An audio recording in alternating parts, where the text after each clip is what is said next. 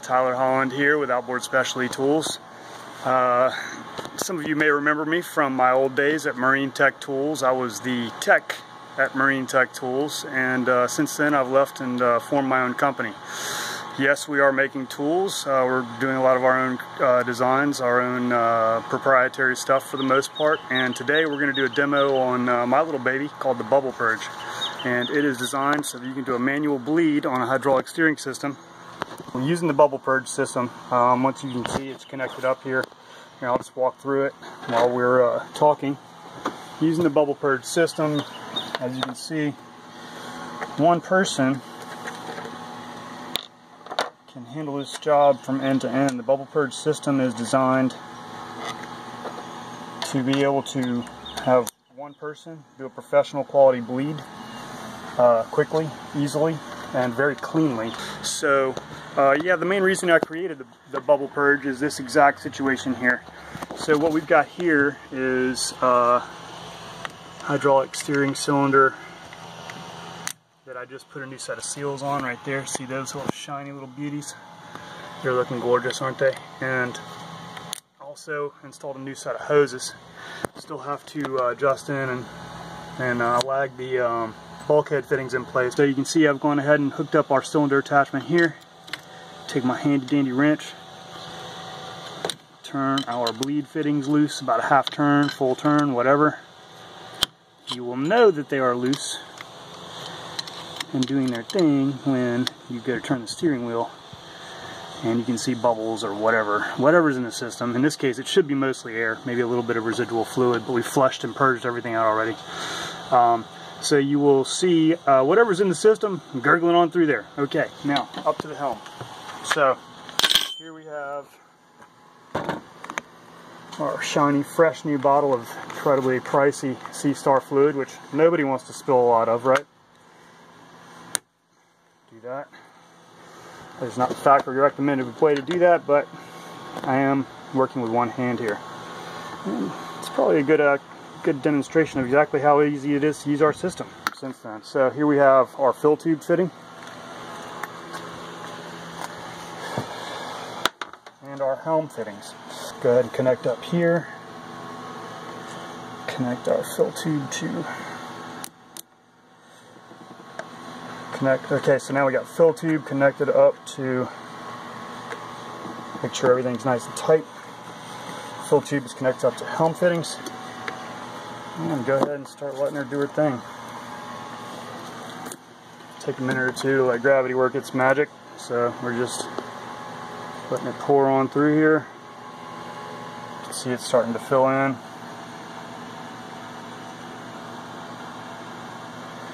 And it's going to start pushing, well, gravity is going to start working its beautiful magic and start letting fluid drain into the helm as air works its way out. And the whole way that this beauty works is air rises out of there, goes into the bottle, and basically lets fluid go into the helm.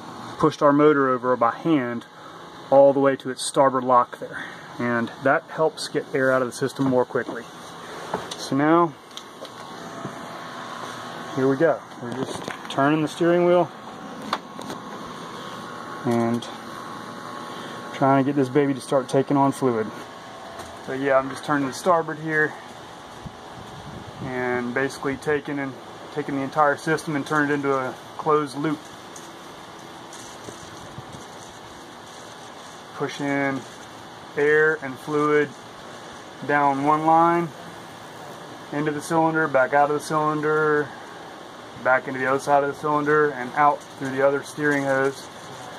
And eventually fluid will just push all of the air out of the system and push it back into the helm where it'll keep doing what it's doing now, which is feed into the bottle.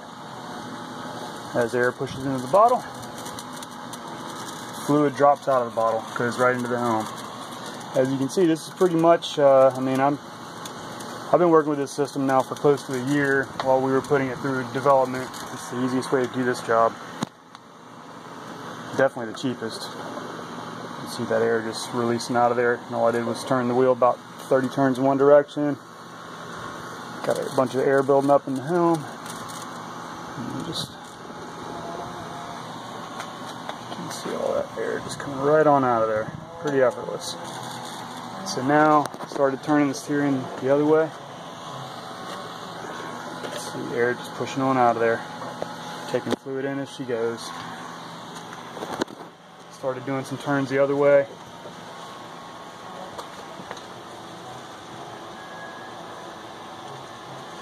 Hopefully you can get a good look at those bubbles moving through there. Starting to get some fluid coming through. And now, see we're almost getting a solid stream of fluid through there. What I'm to do is go ahead and just manually push the motor over to my port side lock.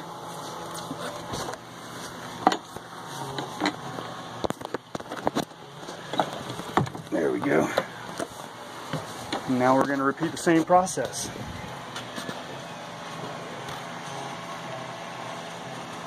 Turn the steering wheel.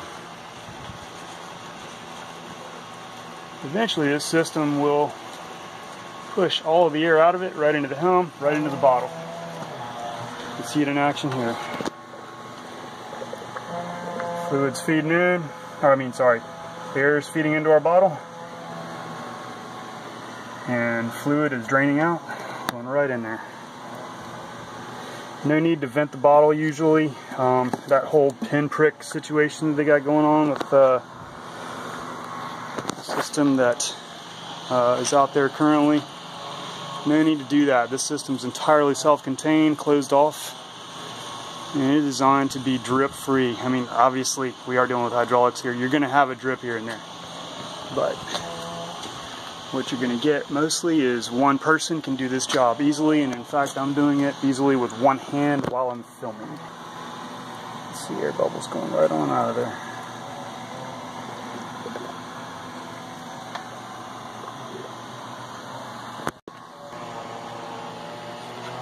You can see a lot fewer bubbles coming through there now. It's mostly just solid fluid.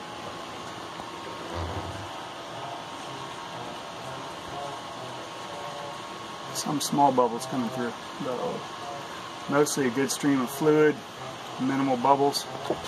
Let's see how we're doing here. Still got some air pushing up out of the helm, but you'll also notice as you get closer to uh, having this thing bled out all the way, you're going to notice fewer and fewer bubbles in the uh, fill tube and fewer and fewer bubbles in general. Eventually it's going to be nothing but fluid. So when you get closer to this thing being uh, full, stop. You stop doing 20 or 30 turns in one direction and then reversing.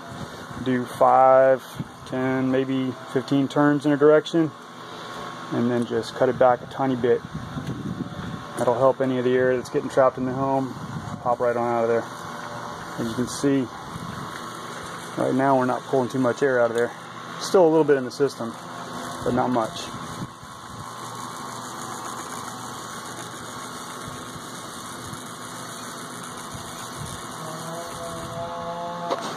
There's a bubble coming out of there. Starting to get full now. Here we're speeding up the turns here a little bit. You see not much air coming out of there, still a little bit. So as I'm turning the wheel here, I'm just turning, turning to starboard, turning to starboard. Every now and then, you you should feel as the system fills up, you should feel a nice little resistance build up in the in the wheel. It'll feel like just the tiniest bit of resistance. As air comes into the helm, Sometimes you'll feel it like it just kind of skips and that resistance just skips right out of there for a second or two. That's an air bubble. So a lot of times you just bring it back half turn or full turn and you'll get any of those extra little bubbles out of there that are working their way through. And so as I'm turning here, let's look back at our cylinder, see how we're doing back here. Solid stream back here, looking good. Now we're even starting to get all the tiny air bubbles out of there. You can see not much left in here. Some tiny little bubbles in here, but we're to get them out too. As you get closer and closer to full, you'll start seeing some tiny bubbles in here and fewer and fewer big bubbles. So just keeping on doing our thing here. About 15, 20 minutes into this job. You can see it still want to take down a little bit more fluid. We're still on our first quart of fluid. Got a good bit in here actually. Give it a little gentle squeeze. And once this system gets full enough, it'll stop pulling fluid into it completely because it just can't physically take anymore.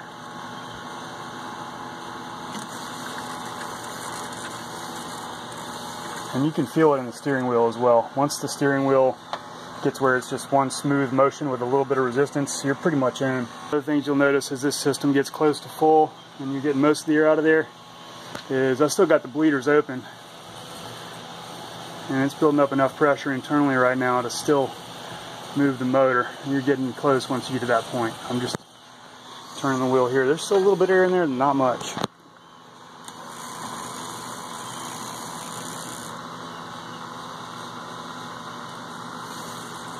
Last few bubbles are working their way out right now.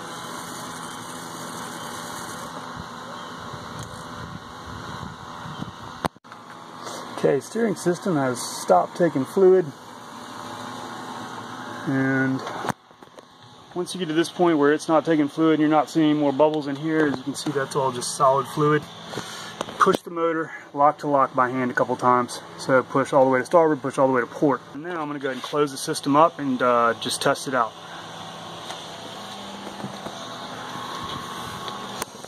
So again, we're going to do this with one hand. So, let it drain off a little bit here.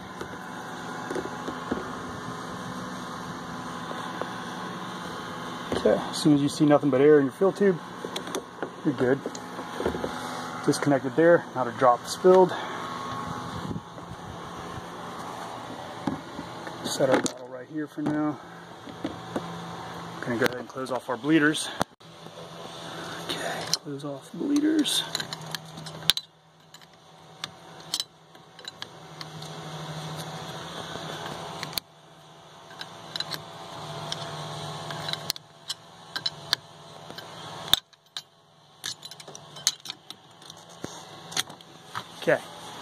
This point the system is fully closed. Closed off back there. And we're closed here. Even though we've got the helm fittings in right here, we're still closed. Key part of this job, disconnect the helm fittings. That one's off. Maybe a little drip coming out of here, but what we got there, you can see nice and full. Full to the top, no air. Go ahead and put our cap on. Alright, give our system a little test here. Oh yeah, nice and smooth. Lock to lock. No jumpy, no gaps. Oh yeah, she's done.